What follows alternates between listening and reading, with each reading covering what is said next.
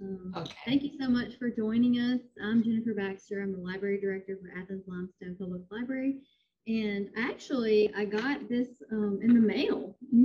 I got these great flyers about your um, offering your program in the mail, and I thought this is amazing and wonderful, and I would love to have you. So, um, Dr. Shari Williams is a historian of the modern American South, including the past, present, and future of rural historic landscapes and cultural tradi- traditions in Alabama's Black Belt with an emphasis on social history through the lens of race, gender, and class.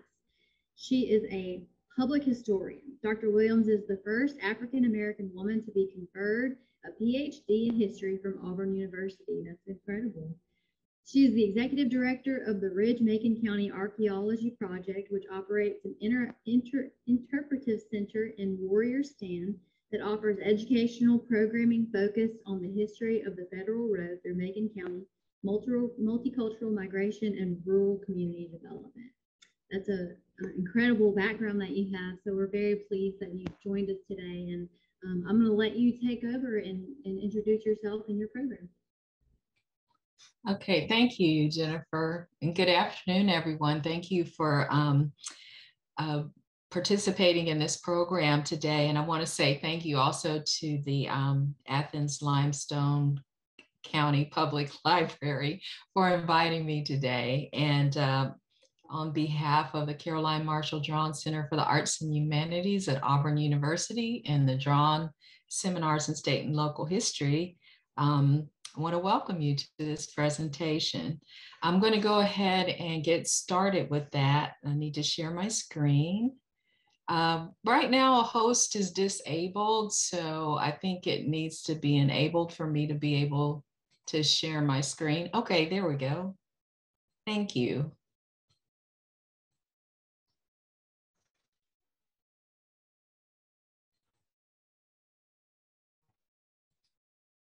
Okay, there we go. All right, so can you give me a thumbs up if you can see the screen and let me know that I'm looking at the same thing that you're looking at? Okay, great. All right, so again, welcome to this presentation. It's called Come Now and Let Us Reason Together, Cooperative Extension Club's Empowerment of African American Farm Women and Girls, 1928 to 1965. Um, I'm going to be speaking on this topic for about 45 minutes, and um, I really want to watch my time to make sure that I, I leave um, plenty of time at the end for questions and answers. And um, you're welcome to put your questions in the chat, and we'll address them at the end. Or um, if you just want to ask the question when we get to that segment, just you know, feel free to unmute your mic and, and jump in.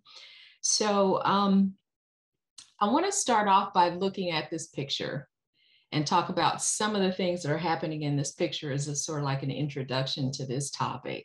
So this photograph was taken in Montgomery County in 1928, and it is a home demonstration club meeting. And uh, of course, I'm going to be talking about home demonstration clubs for women and 4-H clubs for girls. And the setting that you see um, as far as the racial and gender makeup would not be uncommon for 1928 Alabama during Jim Crow.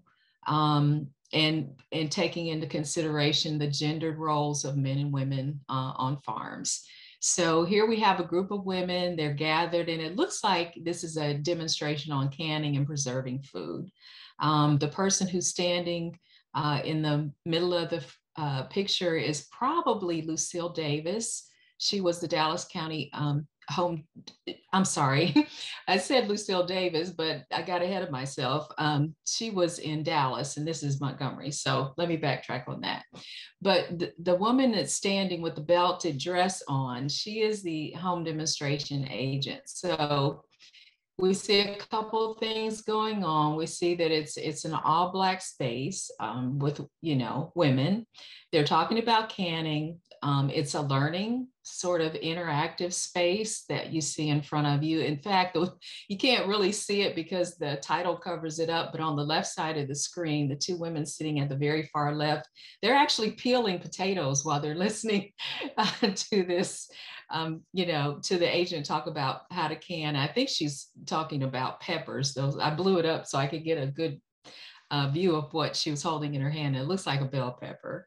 So again, this is um, this is important for setting the stage for what I'm going to talk about. Um, and I'll I'll get into that for in just a moment. But just keep in mind, you know, all Black female space and what is going on in this in this space, and that's really the whole focus of my presentation, which is based on my dissertation research. So the title itself, it draws from a letter that was sent by African American, uh, by an African American home demonstration agent and her male counterpart, which was called a county agent um, in Macon County in 1932. And they used this phrase, come now and let us reason together in a letter that they sent to all the county leaders. Um, and county leaders would have been men and women who belonged to local clubs, like the one that you see pictured on your screen, um, but they have been elected by their peers to serve on a county council. Um, so this letter was sent to them to invite them to attend their annual planning meeting. And the annual planning meeting was very important because that was the meeting that all of the county leaders and agents came together at the beginning of the year to decide on what issues and problems families and communities face, what were the most pressing challenges, and then they developed a program to address those challenges based on the uh, areas that um, home demonstration touched on, which for for women would be um, sewing, canning, uh, food preservation, gardening, um, childcare, and several other different categories. And for men, it would have to do with, you know, crops and, and livestock and things like that. So they would decide on what, what were the pressing problems, what were the challenges, and then they would uh, collaborate with the agents to develop a plan for the year to address those problems. So um, I'm going to talk more about this letter that was sent further along in the in the presentation. Um, but I, want to highlight something here that this this study has a historical underpinning. In other words, I approached it from the standpoint of a, of a historian trying to explain causes and you know change over time and all the things that historians focus on, but I also borrow some concepts from psychology and sociology to analyze and interpret human culture and human behavior, because that's an important aspect of this whole process. And so the central theme of, of um, my presentation is that Black agents and the women that participated um, I'm sorry, that Black agents in the structure of, of the home demonstration and 4-H club program especially the leadership development component, that that facilitated this, uh, what I call a process of inner or psychological emancipation. Um, and that is very different from emancipation on paper. You know, you can say that somebody's emancipated on paper with a stroke of a pen, um, but the, the, the process of, of becoming um, uh, to the point where you value and you appreciate the fact that um, you are worthy um, and you are, are worthy just as a human being, and then you are worthy to um, access all the rights and privileges of being a citizen. Um, sometimes that can be a process for people to go through. And so, what I'm arguing here is that these clubs empowered women and girls to believe um, those things about themselves, to believe in their potential, what they could do for their communities. So I want to go ahead and go to the next slide and talk a little bit about the background of home demonstration and 4-H clubs. And they actually were um, started as informally in local communities as canning and tomato clubs, and they were decentralized. And by that, I mean there was no um, state agency attached to them, no state or national funding that was attached to them. But when the Smith Lever Act of 1914 was passed, it monetized and centralized and formalized these clubs pretty much under the same structure as far as you know what the focus was um, domestic uh, practices among farm women and girls and this was formalized under the United States Department of Agriculture's Federal Extension Service. So again, home demonstration clubs served adult women and 4-H clubs served girls ages 9 to 20. Um, the agents provided, well, the agents were responsible for number one, recruiting women and girls to join clubs, um, to, to set up, to, to go into a community and set up this, stru- this club structure, recruit women and girls to come into these clubs. And then as they came in, provide them with interactive lessons in scientific home management. Um, in my time when I was in um, elementary and middle school and high school, we called it home ec. Um, and now it's called family and consumer science. Um, but again, the areas that they focused on were poultry raising, poultry raising, gardening, canning, childcare. And so in this photograph on uh, this slide is a photograph of an agent doing a demonstration on culling chickens in Madison County, Alabama. And culling chickens is just a process of sorting out the productive hens from the non-productive hens. Um, but again, an another point of emphasis is that these clubs uh, at that time were segregated by race and by gender. So as I studied this, um, studied these clubs uh, and studied the structure, the USDA structure, and learned about how things operated, I realized from the evidence that um, it was kind of complex as far as the schools of thought at the upper echelon of, of the USDA that sort of filtered down even to the state and local level.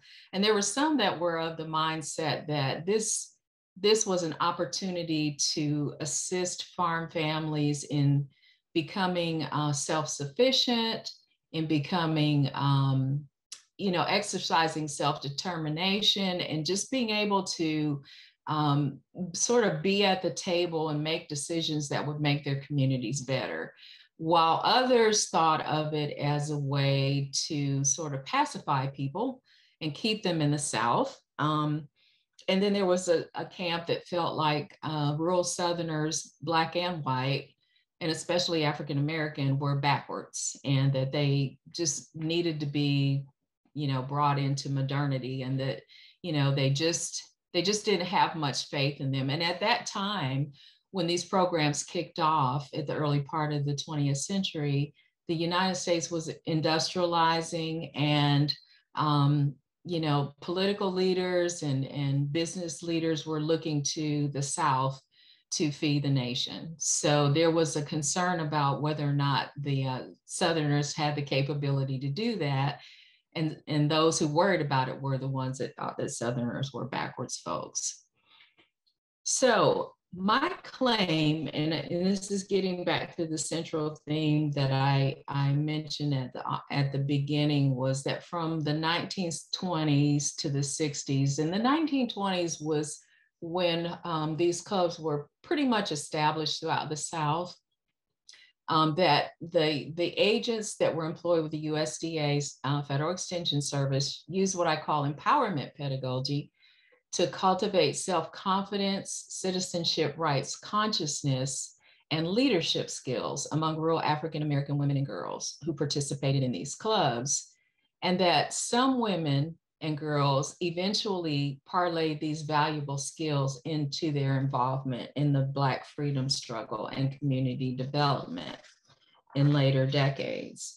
So I want to pause here for just a second and sort of unpack this claim as far as defining some of the terms. So when I talk about empowerment pedagogy, um, what I mean by that is instruction that develops the capacity of individuals to identify an issue that's concerning to them, to mobilize around a common cause, to resolve that issue, and to act decisively to promote their cause. And then when I talk about the Black freedom struggle, um, it encompasses um, various movements and, and actions that African American forged uh, including what you know most of us probably would call the modern civil rights movement of the 60s. And those movements would be for the purpose of securing full citizenship rights and equal protection under the law. So the Black freedom struggle is, in my mind, is ongoing. And it includes um, what historian Charles E. Cobb calls the liberated consciousness of self and community, which sort of speaks again to this idea of psychological psychological emancipation and knowing that you're worthy, that knowing that you have um, the right to um, all the privileges that are available to American citizens. And then the last term is community development. And I define that very simply as fostering self-determination and self-sufficiency within communities to achieve community well-being. And that can include an, an economic component, but um, in my research, I focus more on the psychological part of that. And so rural community development is really just one form of the Black freedom struggle. So how did I get interested in this topic? Um, I am, uh, I'm not a, a, certified genealogist, but I'm a genealogist. I do family history research, have been doing it since I was in my 20s and I'm now in my 60s. Um, and to be honest, I, I came, I stumbled on uh, home demonstration agents' annual reports. Um, agents, whether they were Black or white, all agents were required to report, write formal reports and submit them um, and detail and outline the activities that their clubs had engaged in throughout the year.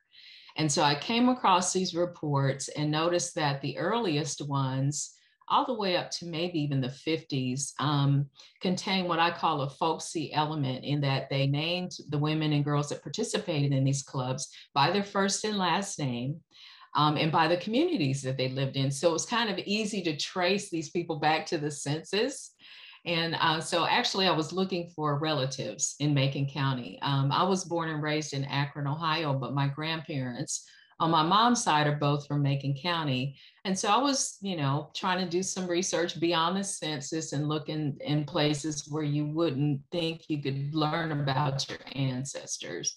And I came across a mention um, of an agent named A.M. Boynton who worked in Dallas County. And I thought um, that the reference was to Amelia Boynton, who you see pictured on your screen on the right, who was an iconic civil rights activist. And um, I later learned that Laura Daley, who was assigned to Macon County on the left of your screen, she also was a civil rights activist. And so these two women had these inclinations. They were middle class, they were educated, and they just came from a background where um, they were taught from day one to believe in their potential and um, to pay it forward. So any education or any advantages that they had uh, while they were, um, you know, growing up and growing into young wom- womanhood, um, they were taught that it was their responsibility to serve others with their, you know, whatever privileges they might have had. And so um, it, it's an interesting mix because you know, although they were educated and although um, they came from uh, families that um, were considered to be middle class, they were still African American. They were still living in Jim Crow world. They still were um, oppressed. And so it's interesting that they were able to sort of embrace all of this um, and put it to service for Black communities. So I mistakenly thought that the person's name that I saw in this report was, uh, in fact, Mrs. Boynton, when it was actually her sister in law that was assigned to Montgomery County. But before I, I realized that, my thought process was, oh, wow, you know, she was she was a force to be reckoned with. So when she met with her clients in these you know settings where there was all black women and, and they were in a private space like the one you saw at the beginning um, in a home where there was no nobody looking over their shoulder nobody monitoring what they were talking about my thought was hmm what what did they talk about in these meetings with people like uh, mrs boynton and laura daley and so that was one of my questions, and I'll, I'll share some more in just a minute. But I do want to pause for a second and talk about um, the agent in Limestone County. Um, and I just looked this up uh, in the last couple days, but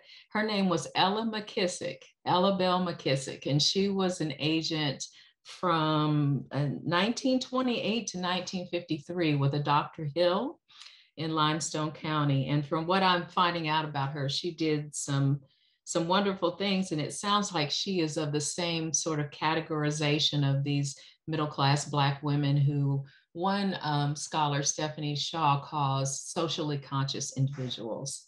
So the rest of my research questions were um, that I had seen some scholarship that argued that people like Laura Daly and Amelia Boynton and probably Mrs. McKissick um, they imposed white middle class standards for homemaking upon impoverished rural Black women and did, did not address these women's real time needs for their families and for themselves.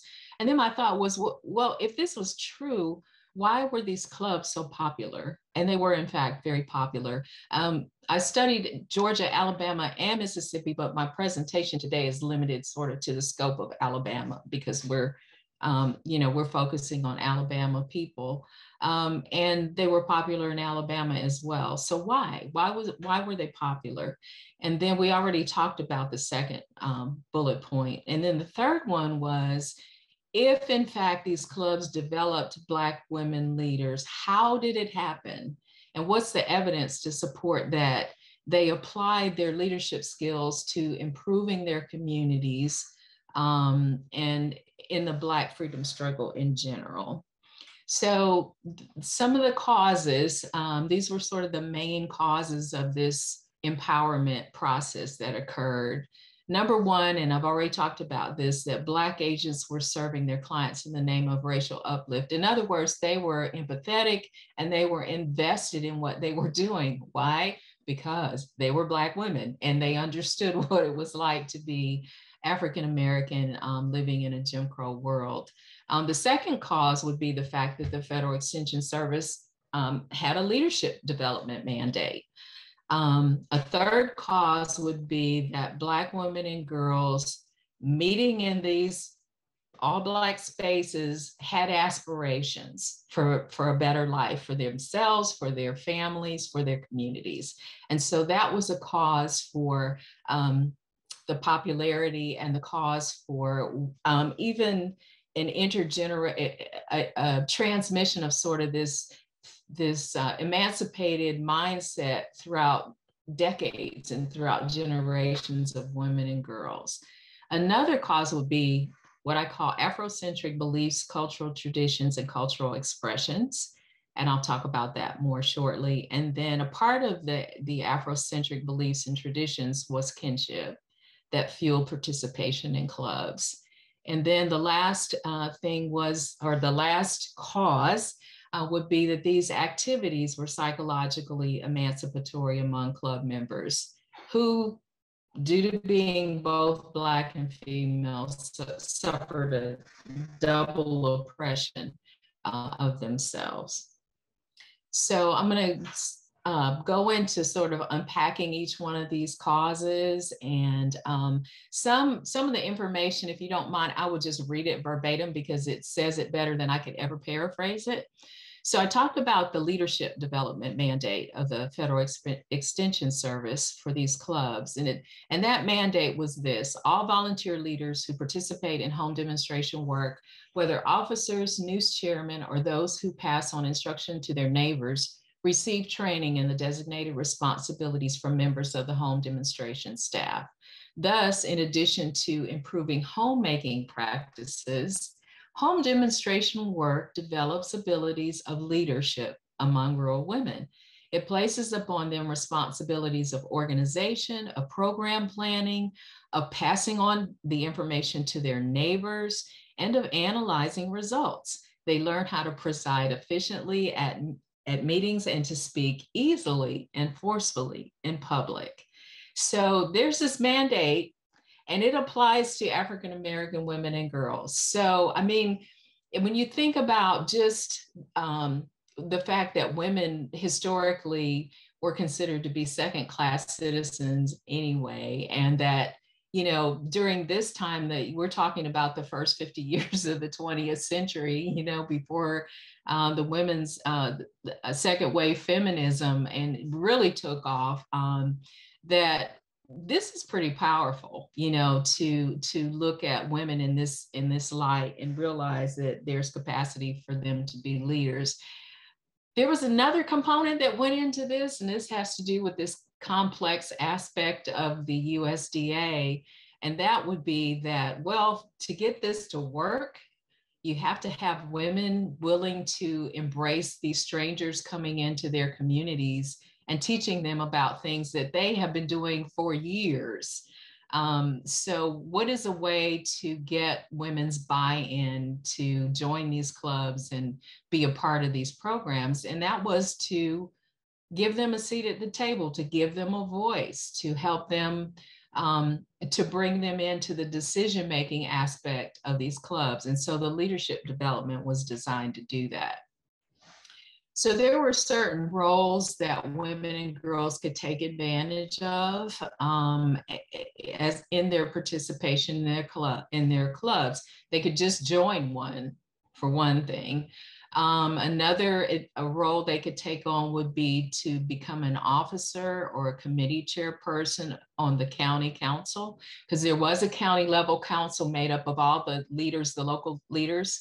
And um, they, they were the ones that I was referring to at the beginning when I was talking about the invitation to the county leaders. Um, they could be a delegate to a state conference they could attend short courses, and a lot of those activities happened at Tuskegee Institute. Um, and they could serve as a project leader um, if if the community decided that they were going to do a poultry project and the women and girls sort of mapped out what that project would be what the goals and objectives of that project would be then among the the club women um, women could arise up and say, hey, I want to be a, a project leader and I want to take a lead role in this. So they had, and I'm not, I'm not touching on all of the opportunities, but these are just a few of the opportunities that they had. And out of these opportunities and roles, um, flowed uh, an enhancement of leadership skills that were already there and present among women or just developing new skills. And so on the right side of the screen, you see sort of a repeat of what was in the mandate as far as the types of skills that um, women and girls were expected to develop. And it's problem identification and, and setting goals and objectives and planning and redelivering and organizing and presiding and directing and managing and problem solving and analyzing. And so all of these skills um, I mean, they meant they meant something, especially again for African American women and girls, because outside of these settings, maybe in their churches, but even those, you know, we we're talking about a patriarchal society anyway, right? Um, so this was a, there was this was a rare and special opportunity um, for them to, uh, you know, develop and flourish and blossom. So the energy from these clubs, even though it was a top-down program with the USDA, you know, administering this program from the top down, those effective, successful program delivery and, and outcomes, that that was energized from the bottom up. Um, and again, it was this idea if you want women and girls to buy into these programs, then you have to give them a voice, an opportunity to direct the activities of these clubs. And that's exactly what happened. And that's what you see pictured at the bottom. And actually, I kind of like this diagram because the bottom is sort of what gives this whole thing some stability, right? And a foundation. And so um, it, these clubs have been called a, a administered from the top down, but but worked from the bottom up. And that is exactly what happened because if if women and girls didn't buy into them and if they didn't join there wasn't a need for them in the first place. So uh, another cause that i talked about um, early on was aspirations. Uh, another cause was culture. And again i'll just keep referring to this idea of this all black domestic space because that was a great contributor to this psychological process to sort of be free to, to happen. Um, but this photograph is from Morgan County, Alabama. It's also taken in 1928, and it's a woman who's showing off her quilt that she's made to the uh, the two agents that are pictured.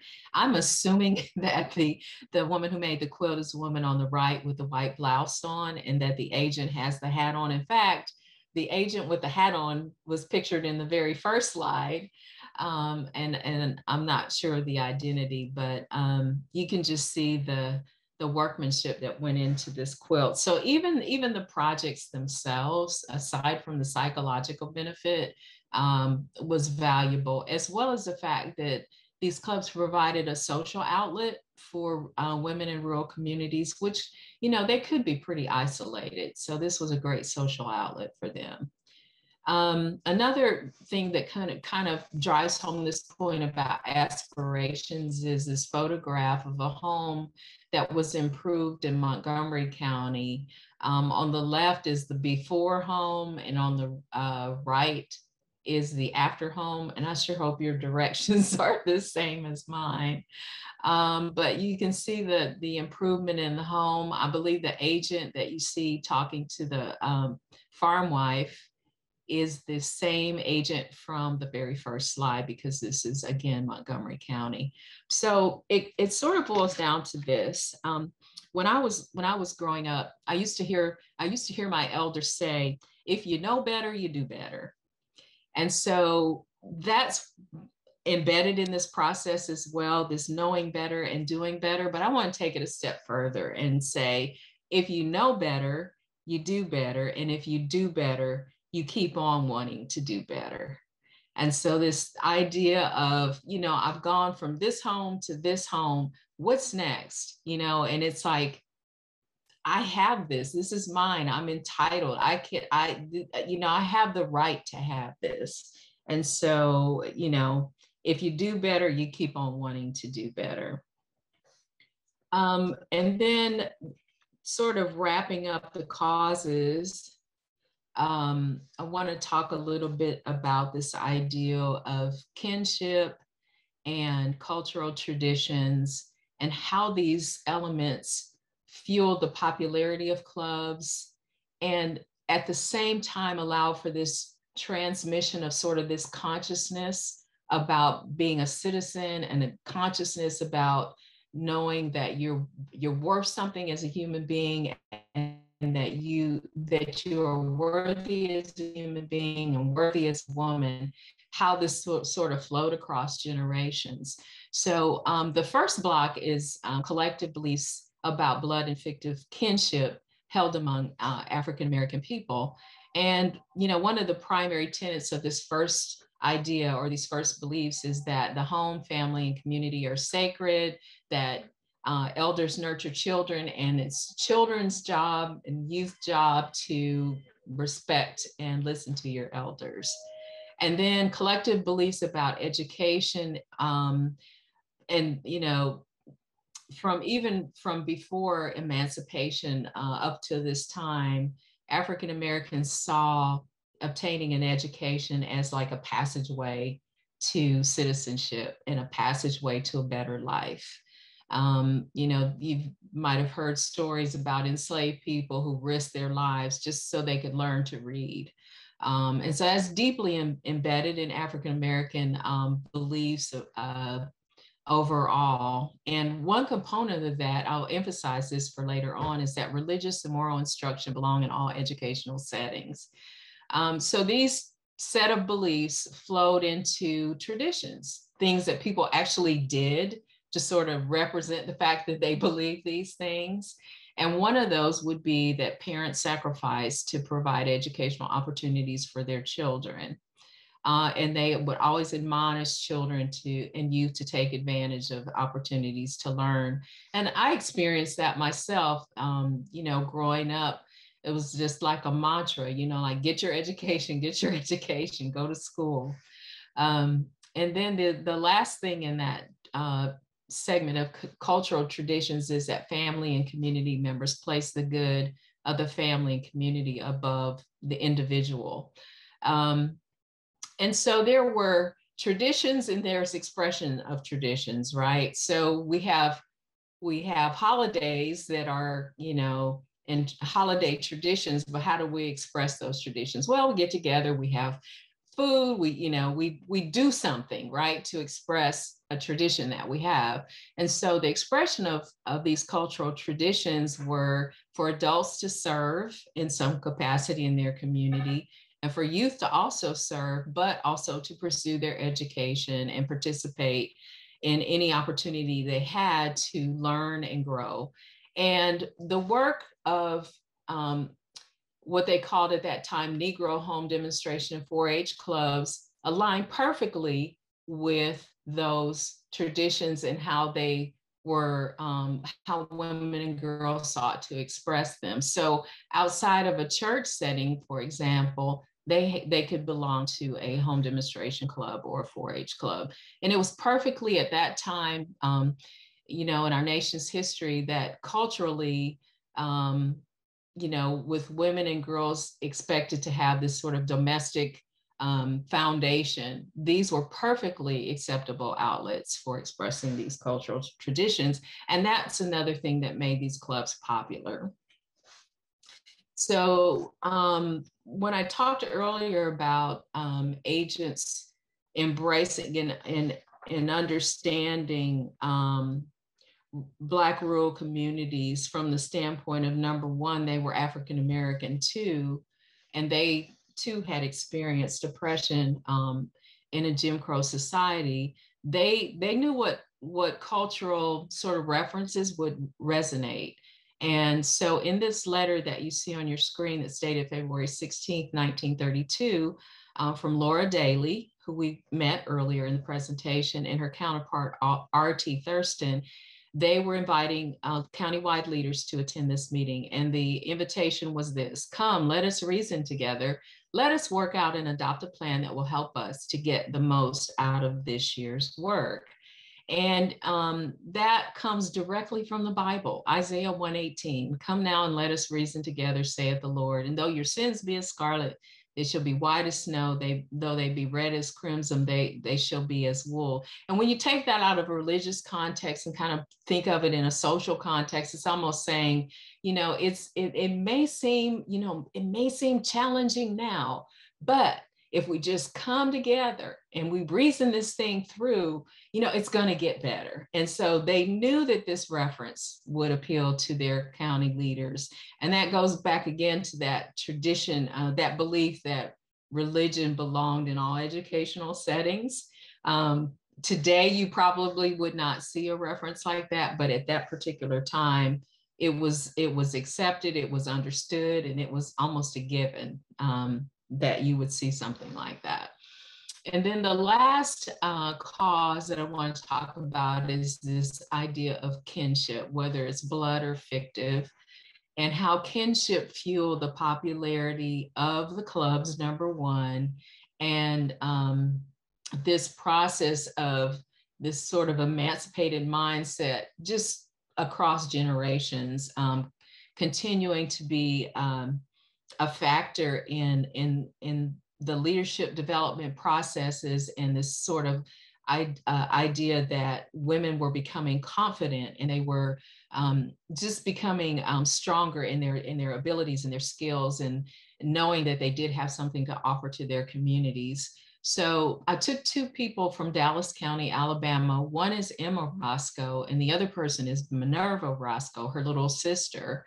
They both were involved in um, home demonstration and 4 H. So Emma was an adult woman, so she was in home demonstration, and her sister was in 4 H. But they both became leaders.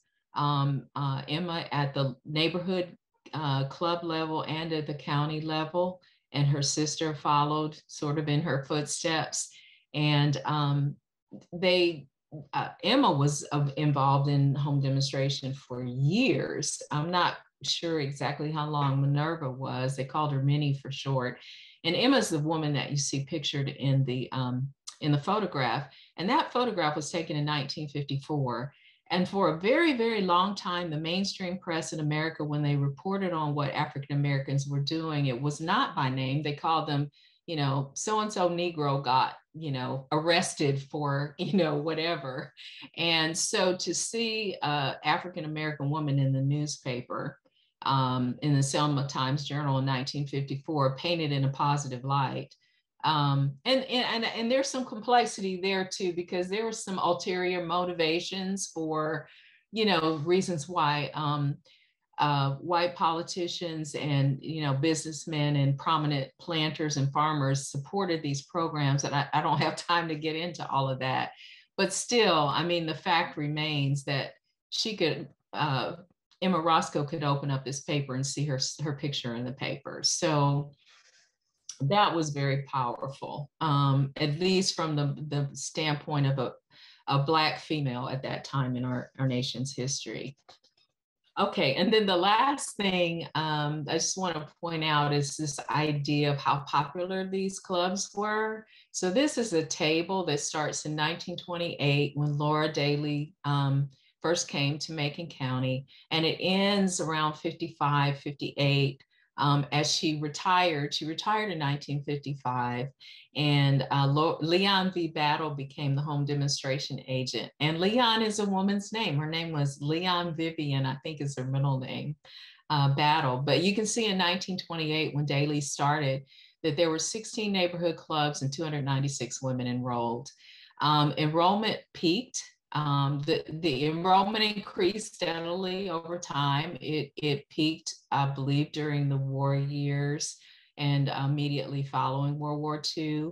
And then the, the, the uh, number of clubs declined um, in 1955, but you still had a higher enrollment of club women than you did in 1928 when she started.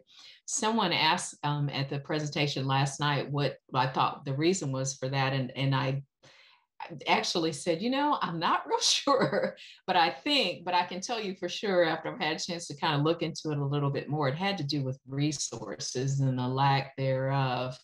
Um, Daley in her 1955 report sort of says, you know, if we had a larger county staff, uh, we could, you know, we could do more. And so um, part of the inequitable structure of, of the Federal Extension Service was that black um, the black program was underfunded. So that might have been a reason for the 10 clubs. So change over time what happened from 1920 to 1950 1960 as far as this idea of psychological emancipation? Well in 1944 laura Daly had worked with home demonstration and 4-H club women for 16 years and she wrote a paragraph in her annual report for that year um, that where she attributed the success of the extension program in Macon County to local leaders. Um, I'm going to read that quote for you in just a moment, but in the photograph here you see her pictured in um, with Mrs. Lizzie Peterson, and Mrs. Peterson is working in her English pea garden. And, um, you know, it, it Mrs. Daley looks a little bit different than she does in the photograph on the front, but I really think it's this is all within the same time frame. But she was in her 50s by then, and uh, she had dedicated her her career as an agent pretty much to Macon County. So what she said, so she knew what she was talking about, right? She had been there for decades. And her quote is this She said, um, to facilitate the extension program in Macon County and make available extension information to all the farm families, leaders were elected to represent the 36 communities and 152 neighborhoods, divisions, and subdivisions into which the county is divided.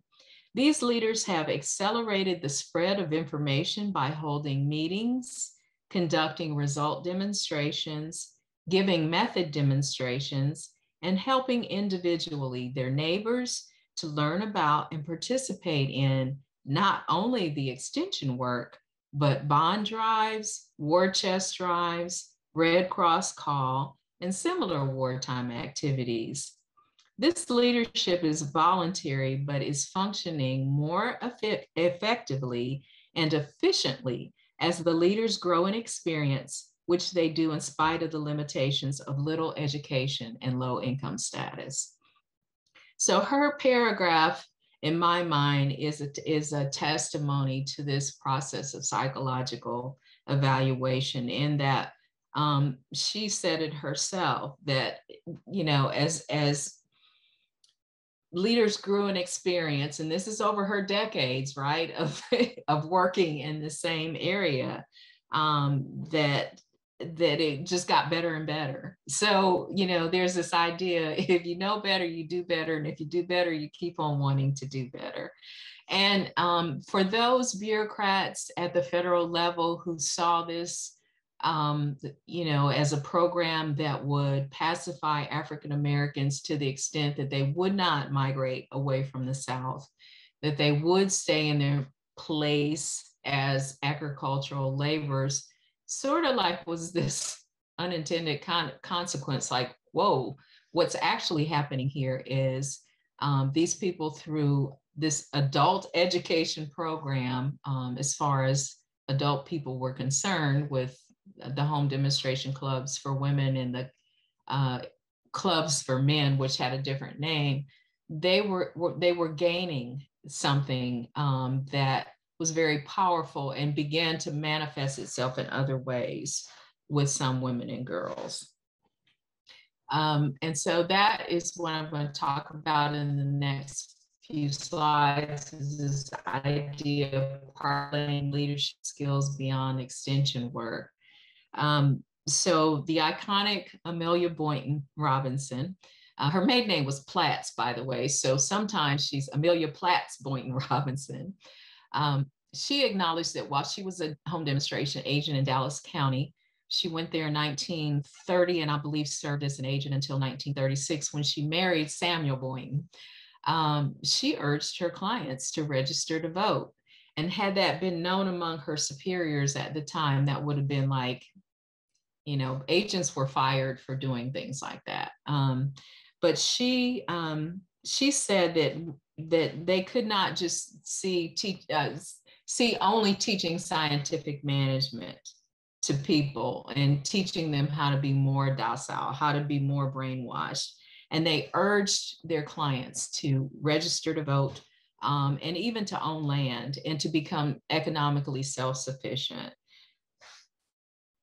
her um, one of her charges was uh, Rebecca Anderson, who was born in 1898, who was not um, a person who would necessarily be considered to be middle class. She had elementary school education, but she was involved, an officer at the county level. She attended a farmers conference in Tuskegee and she later on parlayed her leadership skills into mobilizing her community behind the Selma voter registration movement.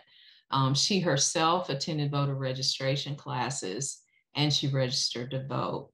And so um, Lucy Upshaw was the agent in Dallas County who succeeded um, Miss Boynton.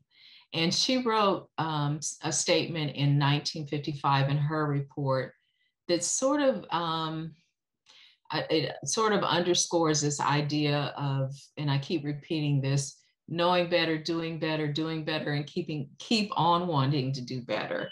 And so I'm going to read her quote, uh, her quote before I close.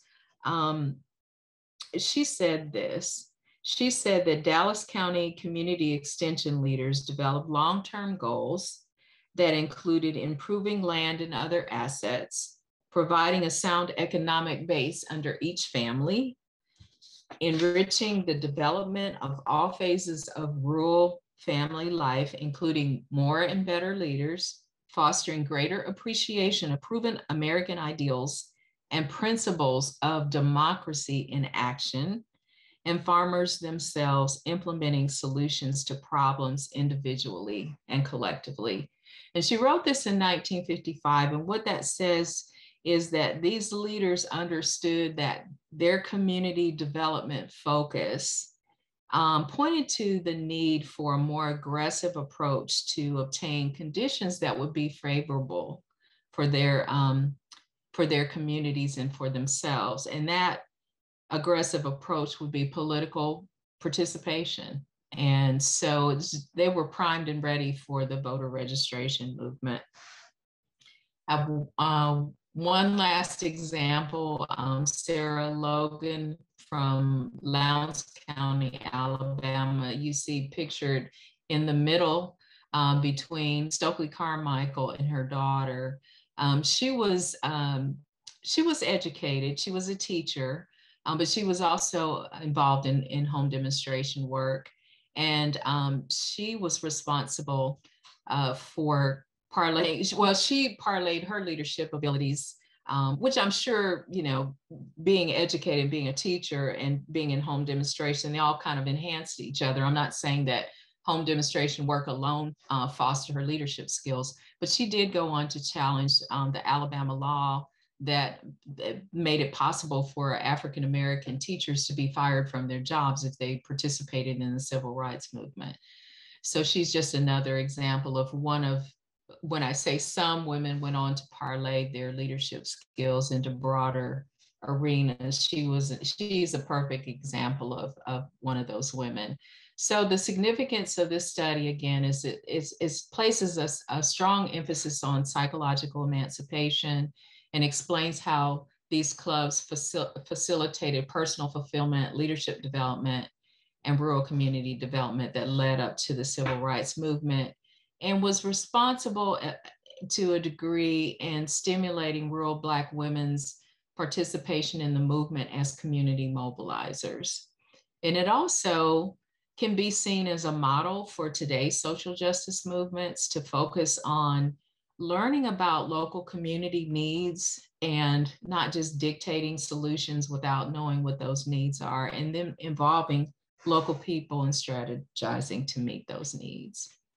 So I will close here and thank you so much for your attention. And if you have questions, um, please feel free to either type them into the chat or, um, you know, unmute your mic and just speak up. I think we have what, maybe 10 minutes left. Is that right, Jen?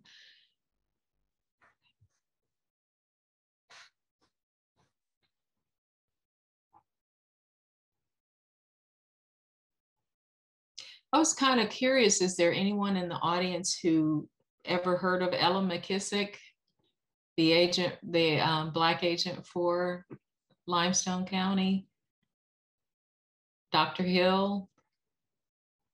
I'm certainly going to dig into, into that a little bit more. I was I was looking for a photograph uh, online. I couldn't find a picture of her, so but I'm going to keep digging.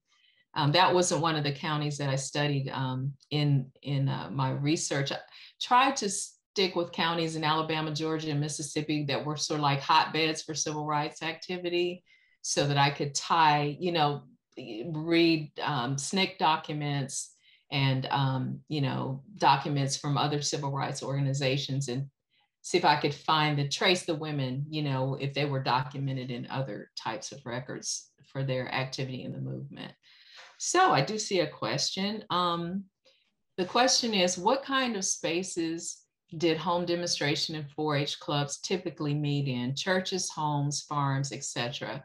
Um, the neighborhood club meetings met in private homes typically. Um, and 4-H clubs could meet in private homes, but a lot of times they met in Black schools.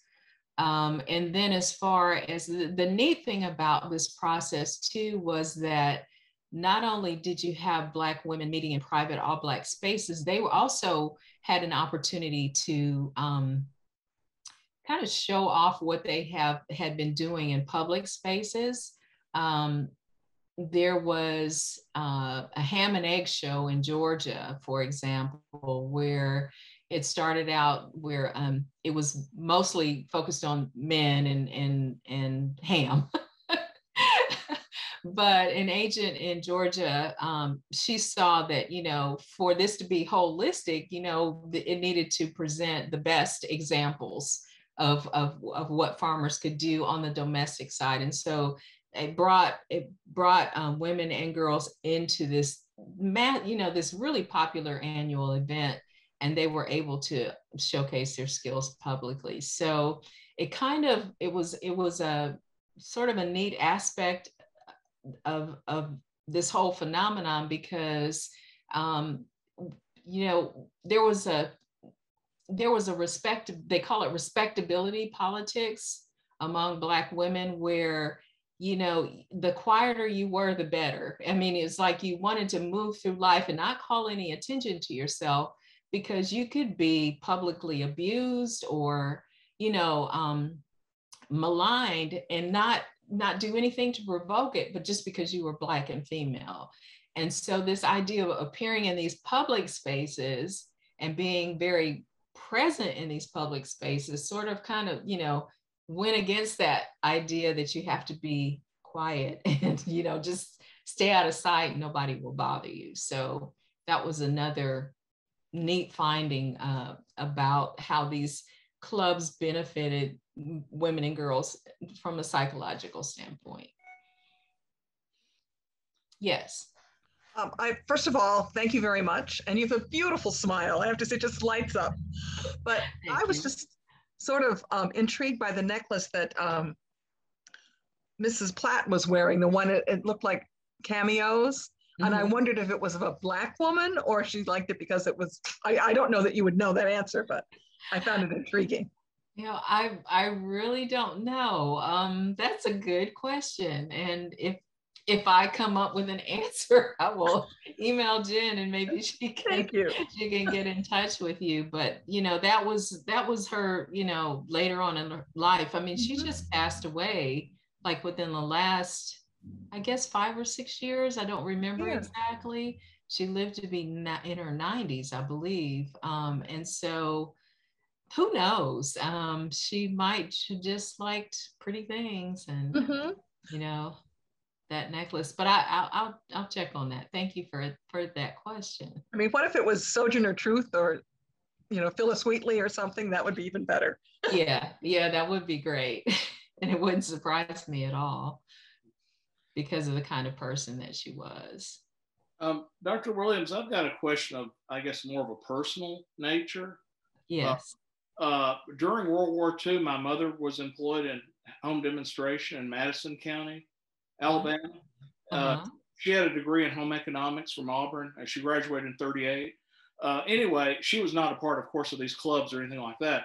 But and and I, I don't have any recollection of it. I mean, this was like a decade before I was born. But I wish she were still around to talk with you. But you know, I know she would have loved your talk. Anyway, from what she indicated, most of her the families that she assisted were African American uh, in Madison County. Mm-hmm. Um, and I noticed that um, most of your photographs, most of the most of them seem to have come, or many of them seem to have come from uh, the special collections at Auburn. Yes, that's exactly where they came from. So I, I guess my question is, I mean, apparently there's a repository of photographs on this topic at Auburn in special yes. collections. Mm-hmm. Yeah. And, and is there also maybe a repository of transcripts, maybe oral histories or something about about this experience or, or no? Oral, oral histories maybe as they are embedded in agents reports, but I don't think there's a separate repository per se. In fact, when I was researching this for my dissertation, I didn't find like one standalone archive of, you know, oral histories having to do with these clubs. Um, you know, I'd have to look at bigger collections and sort of just kind of pick through them to find out if if anybody mentioned home demonstration and 4-H and its effect on their lives. But I will say that Auburn is, uh, it's wonderful that we have access to the, all the reports for all the counties in Auburn. Um, they, they do have the records segregated so that you can read the, the Negro um, home demonstration program, uh, their, those agents' reports. Um, and it's not segregation like you know a, a, malicious thing it just makes it easier to access these reports and so um, for georgia for example i had to go to college park uh, maryland to access those records because they're not housed at an institution like auburn uh, you know uh, like uga or another uh, Fort Valley State College or, you know, um, an institution like that in Georgia. So we're very fortunate to have um, these records archived both at College Park, but we also have access to them at Auburn University. Well, you've done some great research, and I, w- I really appreciate you presenting this to us. Oh, thank you so much. And thanks for that question. And I, I wish I could talk to your mom too. that would be great. Um, most of the women that that served as agents, most of them are not around uh, anymore. They're not with us anymore. Um, I did interview people who were influenced or their lives were touched, you know, by an agent, but I have not mm-hmm. met any people that are were actually agents. They became close. I mean, I, I, remember she told me they would exchange gifts and all these kinds of things uh, during the war, and it was really therapeutic for my mother too because her husband, my dad, was off at war, and uh, so she was by herself and she was searching, I think, for a purpose, and this mm-hmm. this gave her that. Right, right. Yeah. And again, you know, it's it's it's for all the reasons that I talked about as far as being a woman in this time that these there was benefit across the board regardless of race um, and so i'm glad that that you shared that with us um, it's just that for African American women, they had a different sort of significance. And that's just because they were both um, African American and uh, female. Yeah, yeah, yeah. Okay. Yeah. Well, I knew yeah. that outside the scope of your research, but I just wanted to, to share that. So.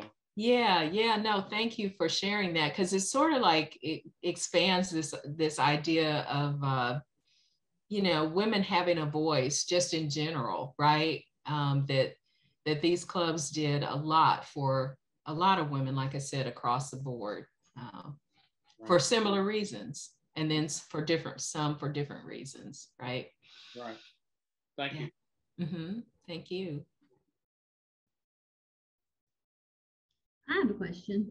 Yes. Um, out of curiosity, and you may have touched on this in the beginning, but um, I'm interested in how this particular program came to be in 1928. Like, did you do any research on the origination of the, the federal program and how it came to that particular area? Well, well, once the Smith-Lever Act monetized this under the purview of the USDA, then it was it was sort of up to state governments to determine state and local governments to determine whether or not they were going to um, allocate funding because you know the funding trickled down. And um, so they they were the sort of gatekeepers as far as you know whether or not this county had a program or not. And so it's not it, it didn't it didn't get implemented at the same time as more staggered as far as when clubs in a particular county might come into existence. And to be honest, like the um, the first clubs served uh, white male farmers, and then the next wave African American male farmers, and then the next wave was um, white women, white farm women, and then lastly were um, African American farm women. So, and one state might have done it sooner than another, you know, for those populations. So it was just it was just a matter of state priorities and uh, you know what people wanted um, as far as politicians and and uh, powerful people in the state and communities. Really probably not all that different from how it works now, and, and theoretically, except that we've kind of hopefully equalized the priorities a little more at this at this juncture. I'm always interested in public policy and how things originate and then how they flow. That's something I'm interested in. But two, I did want to tell you that this was a wonderful, wonderful presentation. You made it very interesting, and um, I hope that I'm not an I'm not an academic, so I don't know how all that works. But I hope that your your work is published and I can read it. I'd like to read it, and that you put it into a book. I'm hoping for that. I'm working on it as we speak. So yeah, I I, I just think it's exciting because um, I don't know that there's other scholars that have definitely well well before me identified the importance of these clubs. The difference between their their approach and mine is I was just really trying to dig into the local level and say, well, how, you know, how were leaders developed from this? How could you can and you know learn how to can and become a leader was basically my question and then the other question was for me as somebody who was um, i was seven years old when the march on washington took place on august 28 1963 in fact it was my seventh birthday um, mm-hmm. but um, as i got older you know it's just and i learned history it was like what happened to african american people where they were seemingly for in my in my from my perspective like suddenly positioned to actually agitate for civil rights what happened what led up to this and i think that these clubs and and the leadership development and, and this process of emancipation all fed into that and facilitated that that process not the only thing mind you but certainly a very important a very important aspect that has unfortunately been overlooked, I think. Yes. Well, uh, thank you. And I wanted to tell everybody that's on here today that um, Dr. Williams has agreed to follow up with us to do a podcast. So we'll be posting that um, at some point if you're interested in learning anything further about that. And we'll share that um, when we have that edited. So again, thank you so much. I really appreciate it. It's a very informative and wonderful presentation, and I appreciate your time. Well, thank you so much. And thank you all again for being here. And thank you for your great questions. And I really appreciate it. Thank you.